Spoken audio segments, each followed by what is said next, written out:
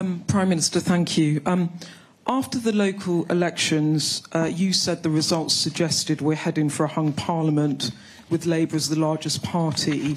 You've also ruled out doing any deal with another party.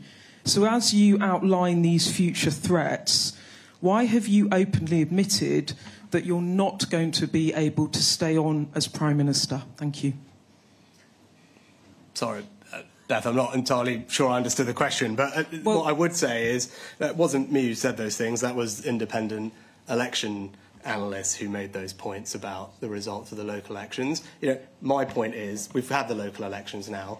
The next election that our country is going to face is the general election.